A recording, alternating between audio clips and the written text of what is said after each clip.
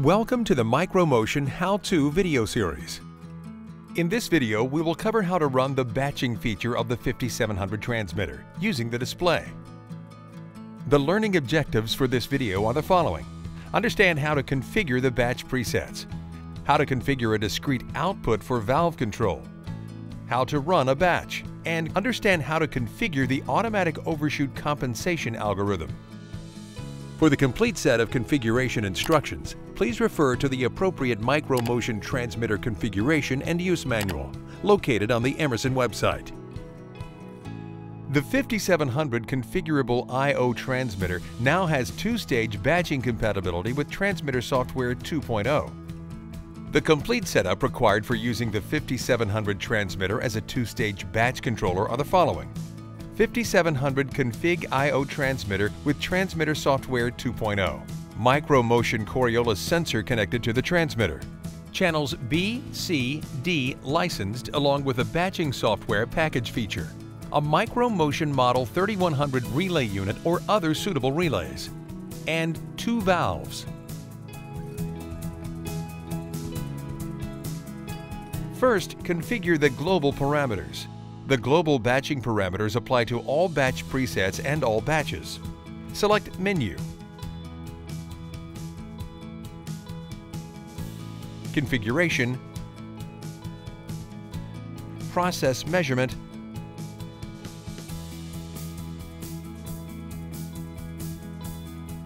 Batcher Global Set batch variable to the process variable that will be used to configure and measure the batch. Set max target to the largest batch that will be allowed. If you try to set the batch target to a larger amount, the transmitter will reject the setting. Set max batch time to the maximum number of seconds that a batch will be allowed to run. If the batch does not reach this target before the period expires, the batch is halted automatically and an alert is posted. If maximum fill time is set to zero, the control is disabled and no maximum time is applied to batches. For two-stage batching, set the following parameters. Two-stage batching is a batch that is run involving a primary valve and secondary valve. For both single and two-stage batching, batch set points can be configured by using either the percent of target value or the quantity of the fluid measured. Percent target the values for open primary, open secondary, close primary, and end warning are each configured as a percent of target. Quantity. The values for open primary and open secondary are each configured as a quantity at which the valve should open. The values for closed primary and end warning are each configured as a quantity that is subtracted from the target. A batch preset is a predefined group of batching parameters. You can define and save up to six batch presets. When you run a batch, you must choose a preset. You can modify the batch target before you run the batch.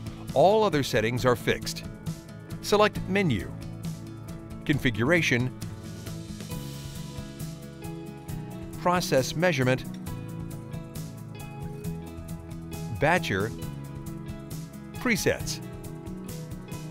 Select the preset that you want to configure. Set the preset status as desired, enabled or on. The preset is available for use. You can select it to run a batch, disabled or off. The preset is not available for use. You cannot select it to run a batch. You can always enable it at a later time. Preset 1 is always enabled and cannot be disabled.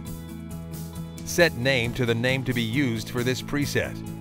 Set target to the size of the batch. When the transmitter has measured the specific amount, it closes the valve.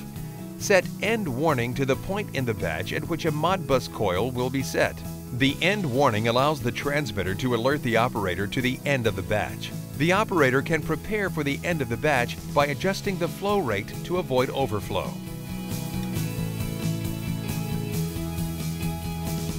The transmitter runs a batch by opening and closing a valve. You must configure a discrete output to send the open and close commands to the valve. Prerequisites Channel B, C, or D must be available for valve control. The selected channel must be wired to the valve. The selected channel and the valve must be powered by a power supply, not by the transmitter. Procedure. Verify the wiring between the selected channel and the valve. Configure the selected channel to operate as a discrete output. Choose Menu, Configuration, Inputs Outputs, set Channel B, Channel C, or Channel D to operate as a discrete output. Set power source to internal when using the Micro Motion Model 3100 relay unit. Procedure. Configure the selected channel for valve control. Choose Menu, Configuration, Inputs Outputs. Select the discrete output to be used for valve control. Choose I.O. settings. Set source to batch primary or secondary valve or pump control. Set fault action so that the valve will be closed if a fault occurs.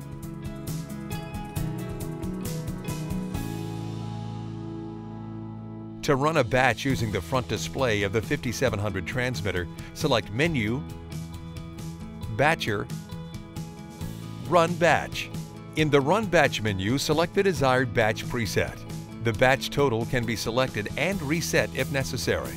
Select the batch target and enter a new batch target or confirm the existing target. Select the batch control to get to the batch control menu. Select and save Begin to start the batch. The batch total will start to increment and stop when it reaches the batch target.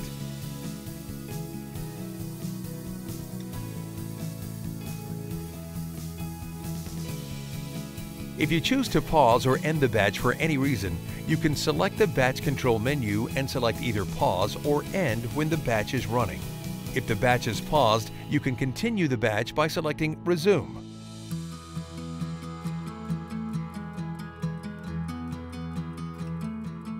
AOC or Automatic Overshoot Compensation adjusts the timing of the valve close command to minimize overshoot.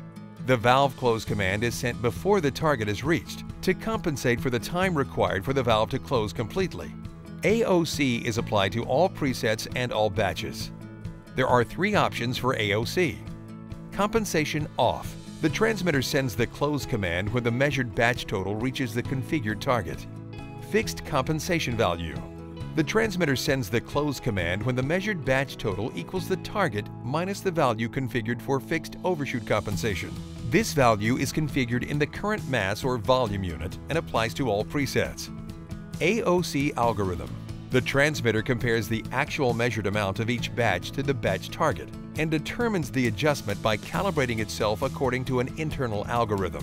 You can choose to stop AOC calibration when you are satisfied with the result, or you can set up rolling or continuous AOC calibration. Select Menu configuration, process measurement,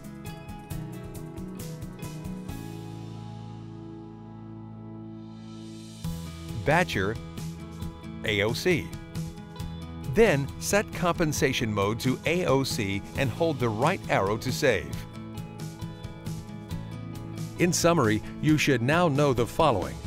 Understand how to configure the batch presets how to configure a discrete output for valve control, how to run a batch, and understand how to configure the automatic overshoot compensation algorithm.